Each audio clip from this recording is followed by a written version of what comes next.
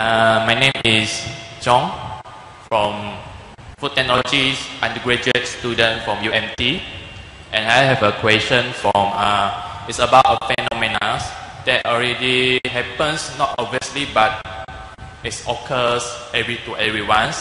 In the for those uh, among all of the religions and others, uh, not only for Muslim, Buddha, Buddhist, and other uh, Hinduism.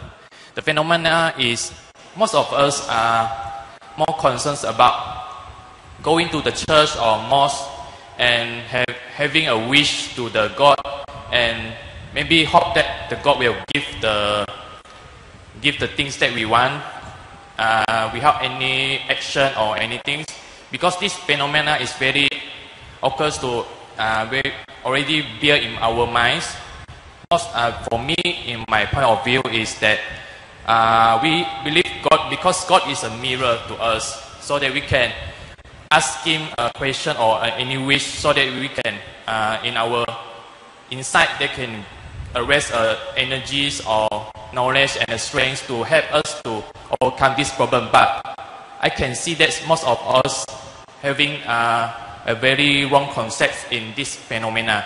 So if Dr. Zakir have uh, agree with this, can give uh, advice. If not, can give uh, some explain in details. huh?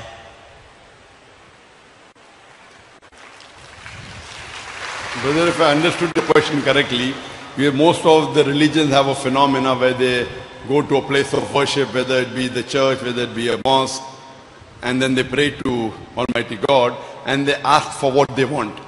What. So what's your question? Understood the phenomena. What's the question?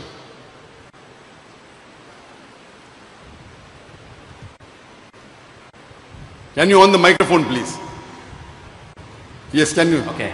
What's the question, question? is why become uh, why people will uh, become like this? Uh, in o- in other ways, actually, we want to have a belief in God that we can uh, the God will give us a strength and knowledge about how to overcome. Why? Recently, most of us, even the youngsters, why they can have a, this kind of mind that uh, we have a wish to the God. Maybe the God will give what we want in letters without any taking any actions.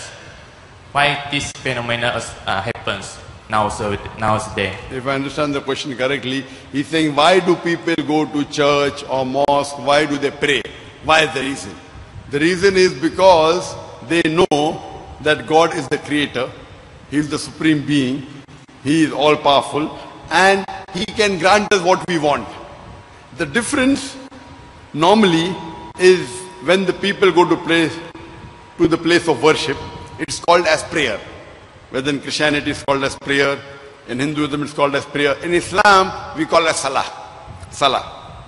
Now the word salah, many people translate to pray is not the correct definition. Because to pray in English language is to beseech, to ask for help. So when a Christian goes to church, he asks for help. Therefore, you call it a prayer. We Muslims, when we come for salah, the word salah is much more than asking for help. The dua that we do after the salah is actually prayer. But in our salah, besides asking for help, we even thank Allah subhanahu wa ta'ala and we get guidance. Therefore, I prefer calling salah as the programming towards righteousness. So when we come for salah, for example, the imam, the leader, he recites Surah Fatiha, the opening chapter, and after that, he may recite Surah Maida, chapter number 5, verse number 90, which says, Ya ayyuhallazina amanu, O you believe, innamal khamru wal maisuru, most certainly intoxicants and gambling, wal anzab wal azlamu, dedication of stones, divination of arrows, Rustum min amali shaitan. These are Satan's handiwork. First, lakum tuflihun. Abstain from the handiwork that you may prosper. So here, when the people come for salah, they are getting guidance from Almighty God. They do not drink alcohol. Do not gamble. Do not do idol worship. Do not do fortune telling. These are Satan's handiwork. Abstain from it. There are the verses of the Quran which say, do not cheat. Do not tell lies. Be honest. Be kind. Be merciful. So in our salah, it is much more than asking for help. Besides asking for help, we are getting guidance from Allah subhanahu wa ta'ala and we also thank Him. Therefore, I call this as a programming towards righteousness and every Muslim minimum should offer salah minimum five times a day. Why? Some religions have once a week, some have once a day. We have five times a day. Why? If you allow me to call the human being a machine, you agree it's the most complicated machine? More complicated than the computer? Now, normally when you program a computer, the program runs unless there is a virus. If a virus comes, then you have to reprogram it, correct? Now, here when we come for Salah, when we go out, we see around us so much of ill things happening, so much of wrong things happening. That's the reason our God, our Creator knows that we should be programmed minimum five times a day to be on the straight path. That's the reason in our salah we say, Ihdina sirat al-mustaqim. Show us the straight path. The path of those who have earned and favor, not the path of those who have gone astray. So here in a salah, besides asking for help, we are also thanking Almighty God and we are also getting guidance from Him. For example, I ask you, why do you have three meals a day? What? Why do you have three times food a day? Three three times what? Food, food. Food.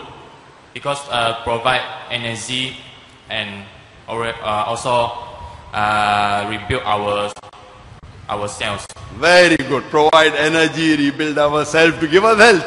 Same way for spiritual soul, for reconfirming and rebuilding a spiritual soul, minimum we have to come five times a day. That's the reason we come to the mosque. Who says this? Our Creator. That's the reason if you read the Bible, in the book of Daniel's, it says that you have to pray to God thrice. But Jesus Christ, peace be upon him, says you have to pray to God unseasonally, as many times as you want. But the church has said Sunday. I don't know why. Nowhere in the Bible did Jesus Christ, peace be upon him, say pray only on Sunday.